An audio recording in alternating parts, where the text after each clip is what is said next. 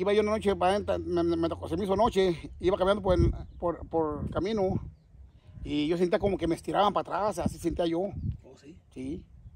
Pero pues no me, no me dejaba, yo, yo también le echaba ganas, eh, no me agüitaba, me hacía bien fuerte, cantaba, chiflaba para que, para que se me fuera el miedo, como que yo sentía que los pelos se me, se me engrifaban. Bueno, pero así, así yo pienso que es puro cuento, nomás que uno, quizás la debilidad de uno. Buenos días, Chori. ¿Qué dice? Hey, buenos días, buenas tardes, buenas noches, mi linda gente bonita. Y Pues aquí estoy este, disfrutando de una, una Budweiser, una pinta.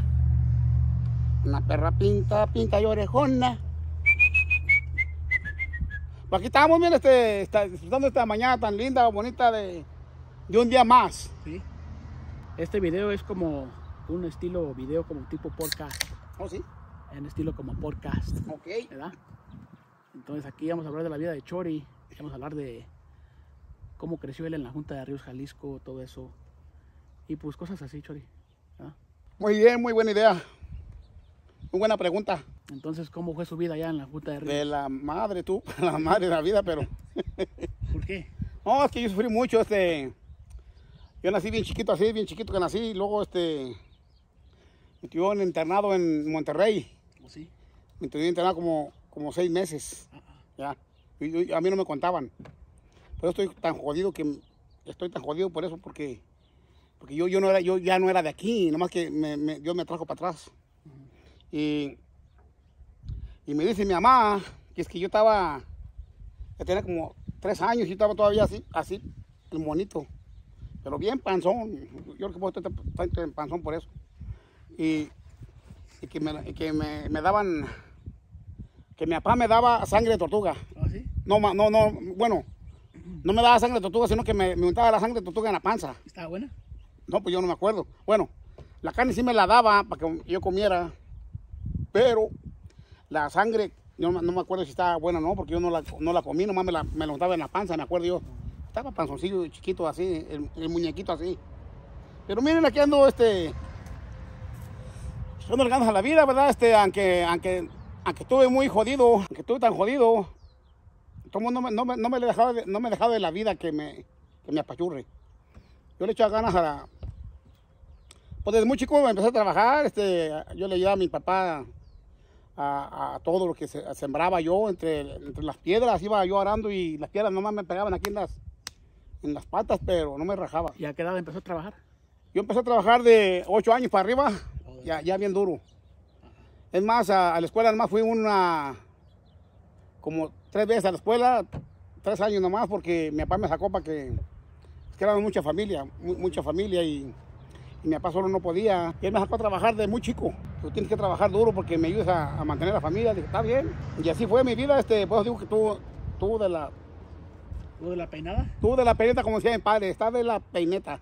Y cuando estaba creciendo en Junta de Ríos, Jalisco, sí miraba usted, eh, ya ve que cuentan cuentos de que hay espantos Bueno, o apareci- aparecidos, apariciones, todo Sí, ese bueno, a tema. mí me pasó cuando estaba yo morro, cuando estaba yo de unos 12 años, a mí, a mí en, una, en, en una casa que yo venía, yo venía de, porque mi, mi papá eh, se iba al rancho de aguas, que era un rancho pequeño, nos íbamos allá, y yo cuando iba por el camino miré un gallo ¿Oh, sí? que iba caminando.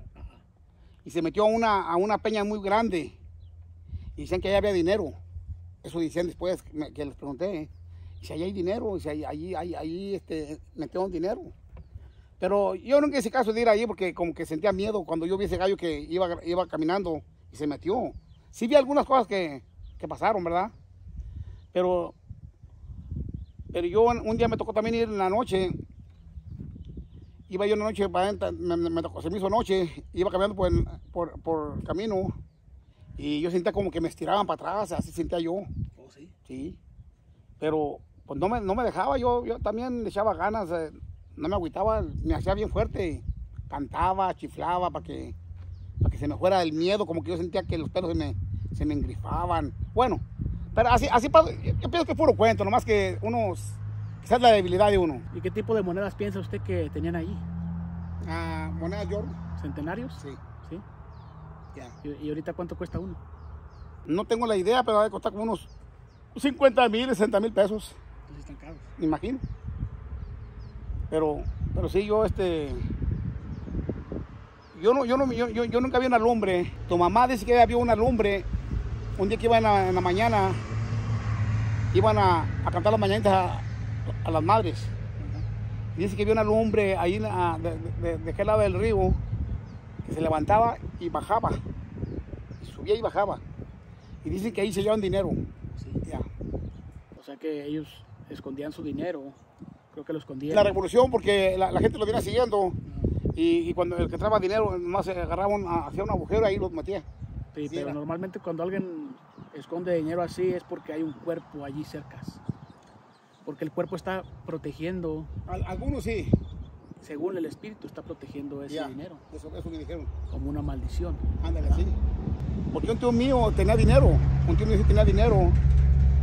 Y, y mi papá vino para el norte y llegó de aquí del norte. Y, y el, el tío mío le perdió una linterna que llevaba mi papá, una, una batería. Y dije que toda la noche estuvo contando el dinero. Él, él miraba por una ventana que tenía arriba y se que sonaba Pues sí. cuando estaba contándolo.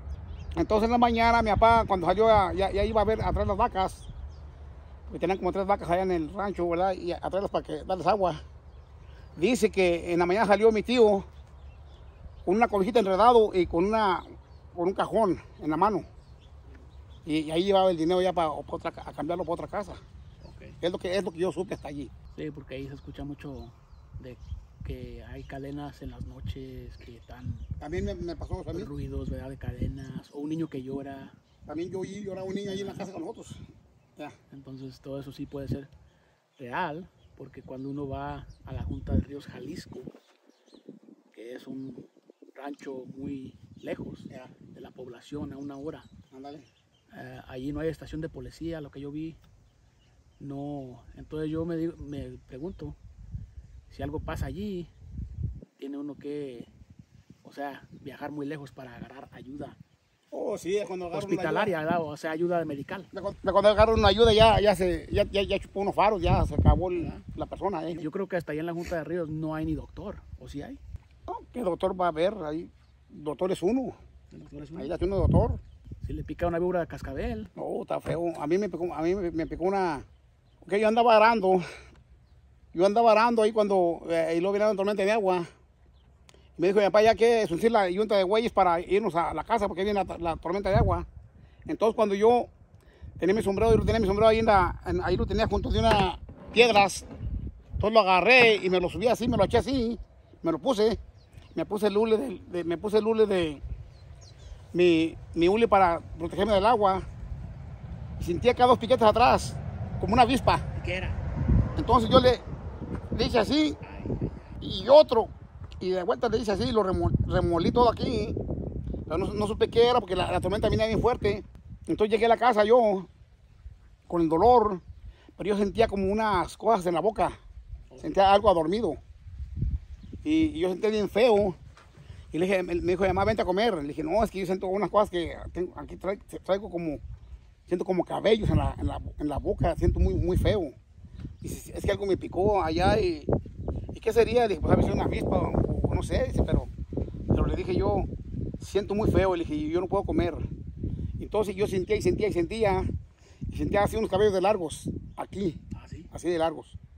Y, y me puse, y ya cuando acordé, me fui, me acosté, y yo no podía, yo, yo- yo, no podía este, estar en la cama porque sentía muchos, muchos piquetes donde quiera, que me levantaban para arriba. Más que una señora, y vamos, ya, ya, ya me dijeron, "Eh, este no, no fue avispa, me dijeron, este es un, un alacrán que te picó. Un alacrán. Ya, entonces, pues ya me, me- me quitó mi mamá mi- la camisa, me la quitó y ya, y ya me la quitó la camisa, y aquí estaba, la, aquí estaba pegada la- el cuero, del, bueno, ya nomás estaba hecho pedazos, pero lo maté, Un alacrán. pero sí era alacrán, era de esos güeros feos. Y entonces, si no sea por esa inyección que tiene la señora, tenía una nomás cada una, nunca se me olvida. Este, era. Era nomás tenía, era eh, ante alacrán. Ante alacrán. Y yo ya, yo ya sentía morirme porque se me tapó la garganta. Y ya nomás aventaba pura baba y ya nomás estaba. Y don Chori, ¿qué tipo de alacrán era? Era de esos güeros. De los güeros. de los malos. Entonces, ese alacrán me, me estaba tapando la, la respiración y yo sentía una peluzada fea. Yo sentía como que pelos así de largos, así, así de largos. Y, pero yo ya, yo ya sentía que me, me iba, me estaba yendo. Yo ya estaba tirando la pata porque, porque ya no alcanzaba resuello. Entonces, ah, me agarraba porque yo, yo, yo reparaba para arriba con, la, con los... Es que como que le pican a uno todo, todo el cuerpo. Y me trajeron a la señora de volar que me, me inyectara y me inyectó. Y como a un- en una hora me empezó a hacer, me empezó a hacer este Perfecto. Y, esa cochinada de, veneno me quitó, me bajó todo el veneno y en la mañana amanecí nomás como todo espinado. Pero ya amanecí bien y fue la que me salvó la vida y gracias a esa señora que, to- que todavía vive, eh, se llama Rosa Robles, es de la Junta de los Ríos. Eh, ella ella me, salvó la vida, siento que me salvó la vida porque tenía esa, esa cajita de, de medicina. Si no, aquí Don Chori ya, ya no vivía de años. ¿Y aproximadamente como en qué año fue esto? Híjole, Chihuahua, yo estaba chavalo, tenía como unos, unos 13 años por ahí, 14 años andaba yo. Estaba muy joven. Entonces yo estaba joven y pues no quería irme, dije, pues, ¿cómo voy a hacer tan, tan temprano? Y, híjole, no me quiero acordar, estaba triste la cosa porque yo sentía, ya sentía que llegaba la, esa cochinada que anda ahí. Y aquí estamos todavía, para darle guerra a mi gente, pues bueno. Pero ahorita, hoy en día, como ve la Junta de Ríos, no ha cambiado mucho Bueno, la Junta de Río no va a cambiar porque en, en en vez de... comparación a antes. en vez de, de que haya más gente, hay menos gente. O sea que la gente, la gente toda, que habíamos como unas 50 personas allí, ahorita habrá como unas 6, 7, 8. Pero hay avances. Hay avances como de electricidad, Oh, de eh, internet. sí, pero, pero lo, lo malo que ahora que, que hay electricidad y todo, no hay gente. Y, y cuando no había nada, había mucha gente. Era muy bonito. Hacemos bailes, hacemos... Allí era, era muy, muy alegres, venía gente de otros lados a, a hacer bailes allá al rancho de la Junta de los Ríos. Y ahora hasta tienen ah, las calles Empedradas, están bien bonitas. pavimentadas. Están muy ¿eh? bonitas, Tienen pavimento. Sí, pues, hicimos, fuimos a hacer unos videos allá. Yo ya no conocía porque tenía como unos 15 años que no iba, que yo no iba este, a, para la Junta de los Ríos. De todos modos, un saludo para toda mi gente que nos está mirando en- haciendo este video. Saludos para toda mi gente que vive allí en la Junta de los Ríos. Ahí hay muchos parientes que se encuentren bien. Y algún día vamos de vuelta, echarnos una vuelta para allá porque a mí me gusta mucho ahí mi, mi rancho. Nunca lo voy a Es un olvidar. lugar muy, la Junta de Ríos es un lugar muy antiguo, Muy antiguo. aproximadamente, ¿qué, qué piensa usted? ¿Cuándo fue fundado y creado ese pueblo? como en el a ver si como en el este en el 1800 por ahí No, yo pienso que está más viejo que eso. creo Yo, si una persona que ve este video, ahí si pueden poner en el comentario, o a lo mejor en el YouTube dice ¿verdad? Ya. Que no, en el YouTube casi no tienen tanta información ¿O de no? la Junta de Ríos Jalisco. entonces debe tener más Pero hay gente que sí sabe cómo de viejo está ese pueblo. Ya.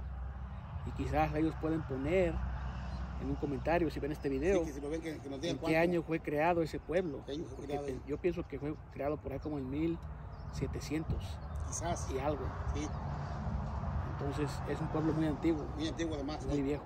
ya Y ahí hay mucha historia de muchas cosas diferentes que Sí. pasaron hay historia ahí en aquellos años y en todos los años que siguen pasando, Ya. porque ese lugar casi no ha cambiado. Es como una cápsula de tiempo, Cholo. sí. Una cápsula de tiempo es un lugar que nomás se mira igual, que casi no ha cambiado. Las casas de piedra la gente las hace y son casas como que duran mucho tiempo, hay toda la vida toda la vida. Entonces, muchas vidas duran. ya Duran la vida de su abuelo, su bisabuelo, sus nietos, de usted, hasta 300, 400 años. sí ahí en la revolución mataron a, a, a don Valerio le mataron nueve hermanos a don Valerio Entonces, era una, era una persona muy él era el más viejo de todos allí en el, en el rancho ese de la Junta de los Ríos ahí pasaban los, ah, la gente de la revolución por ahí ahí. pasaban los hacendados, ahí pasaban por ahí. Y como ellos tenían eh, tenían ahí mucho maíz y todo, entonces ellos ahí llegaban y hacían de las de ellos. Ya. Y don Valerio se le escapó porque él andaba en Mezquití, Jalisco, en Mezquití, andaba en un mandado. Cuando llegó ya había, ya había, ya yo toda su, su familia ahí tirada, muerta, muy, muy triste. Pues allí en la Junta de Ríos era como el, como le dicen aquí, el, el Wild Wild West, como uno tienen la ley en sus manos. Ya, así O es. sea que la gente hace la ley. Así era, así era ahí en la Junta de Gobierno. si, alguien, si algo le pasa a una persona, si tal persona mata a una persona o algo pasa entre esas personas, los hermanos de la familia van y fusilan a esa persona, Ah, está duro. ¿verdad? O sea que ellos toman la ley, tomaban la ley en sus manos. leyes a- a- a- Y hoy en día no sé cómo esté la cosa, ¿verdad? No, pues hoy en día ya hay mucho, mucho gobierno ya, ¿verdad? y es lo bueno. Pero es duro en aquellos tiempos. La gente se peleaba por cualquier cosa Ya. y por cualquier, por cualquier cosa se peleaban o se mataban. No, sí. Y es muy peligroso. En aquellos años era, había muchas muertes ahí por los ranchillos, ahí ah, siempre se peleaban por una- cualquier cosilla. Sí, miraste a mi mujer mal. ya, ándale. Te encontré con mi ma- Hasta hermana, con eso, eh, te encontré es. con mi mamá y todos estaban empistolados. Yo me acuerdo, yo me acuerdo, nunca se me olvida, a un amigo mío, lo mató el, nunca se me va a olvidar, lo mató el, el, el papá de la, de la novia. Sí. Sí, estaban viviendo con una muchacha y lo había ahí con la novia, este, estaban platicando ahí y luego ahí les cargó la pistola. Estaba triste la cosa. Entonces, e- era, era muy difícil antes, era, era- pues, había mucho respeto pues, pero la ge- gente tomó todo el tiempo, ha, ha- ha habido problemas. Sí, la Junta de Ríos, un lugar muy bonito, muy bello, Ya. pero lleno de historia, lleno de muchas historias, de, de pura desgracia. Bueno, Muchas algunas sí. pasaron así. Ya, Y lleno también de historias de éxito y de pues, felicidad. ya. Hay mucha gente que se conoció allí, su primer pareja la conocieron allí y hasta hoy en día todavía están juntos. Sí, Muchas de las familias que están ahí, ahí. ¿verdad? Y este, juraron amor eterno y hasta ahorita todavía siguen juntos. Muchas de esas familias, hasta ahorita, Es cierto, sí. ¿verdad? Bueno, aquí está, aquí está una experiencia, yo soy uno de ellos también. Ajá. Ya, Y también muchos de sus familiares de usted ya, o de acá de la familia de nosotros, así mero. ¿verdad? Ya. Las familias Robles, Guzmán, ah, Bonilla, Alanís, Ya. todas esas familias, Vi- Villagrana también, que también estaban viviendo allí en la Junta de Ríos, Ah, sí. que allí crecieron ellos, y toda esa gente, los bisabuelos y todo lo demás. ¿verdad? No, pues yo me acuerdo, me acuerdo también buena pues, historia de un tío mío. Yo me acuerdo de que tío mío, él tenía mucho dinero. Tenía mucho dinero y lo tenía guardado, lo tenía guardado en un cerro, el dinero. Y, ese dinero que tenía él lo sacaba a sortear. Y la gente lo, lo estaba guachando. Algunas personas lo estaban viendo de, de lejos, lo estaban viendo con unos gemelos para ver qué hacía con el dinero, a ver dónde lo, escondía. Y ese tío mío, me acuerdo yo que comía puro maíz. Ahora más que se agarra come come, pero le daba lástima gastar una moneda de las que tenía del 7020 o no sé cuáles serían, de oro. Le daba, le daba lástima gastarla una. Entonces él, él se fue para una, pa una sierra, ahí vivió en, en la sierra por un tiempo. Y de repente le llegaban unos enmascarados y se fregaron todo el dinero. Ah, ah, Ya. así nomás. No más, pues sí, pues ya, ya, ya lo tienen bien vigilado. Y pues ya mi tío se enfermó, le, le- le pegaron las biles, se enfermó y se nos fue. Se nos fue el tío. No, sí está carajo. Y así es la cosa, mi gente. Este, había mucha gente ahí en el rancho que tenían billete, pero pues, ¿qué ganaban? Nada ganaban. Ellos lo tenían, nosotros no tenemos nada. Nosotros teníamos la pura hambre encima nomás. ¿Y no piensa ir usted para allá, para vivir en la Junta de Ríos? Ah, este. Pero de vivir allí en, en el rancho, yo pienso que ya no, ya, ya no sería yo, este. No, no, ya no sé, porque ya como que ya no me voy a hallar. Es que yo ya estoy impuesto a, a lo de aquí. A la vida de Estados Unidos, pues. Sí, sí, yo ya estoy impuesto y se impone uno. Entonces a mí, a mí lo que me importa es que me gusta sembrar tomatillo, chile y mi milpa. Ustedes como ven aquí mi milpa. Y cuando, cuando, tenga otra, cuando tenga otra quebrada de que voy a ir a hacer un trabajito, lo hago, pero no quiero agarrar trabajo de planta. Como part-time. A- Aparte porque, porque hay muchas amistades que vienen a visitarme que me dar un espacio. Entonces, ah, pues me gusta mi trabajo que ando haciendo. Me gusta. Muy bien, Chori. Ya. Bueno, pues ya llegamos al final de este episodio, que es el primer episodio del podcast de Chori. Vamos a ver si podemos hacer otro enseguida, ya más diferente. Ahí les mandamos un saludo a toda la gente que miró este podcast. Y ahí este, ojalá que les guste, ahí den un like. Sí, saludos para todos ellos. Este, Y a ver qué. Y gracias por ver nuestros videos y, y pláticas que tenemos ahí de, de lo que pasó en aquellos años y, y tenemos mucho más todavía que, que platicar porque a mí en alguna hay, hay más, más partes donde me, me- donde yo vi los espantos pues hay más partes pe- pero ya enseguida en, en otra vez les contamos la historia adiós mi linda gente bonita Ahí estamos, Chori. Gracias por estar en el episodio número uno del podcast de Chori. aquí estamos mi gente bonita un aplauso Gracias por ver el video. adiós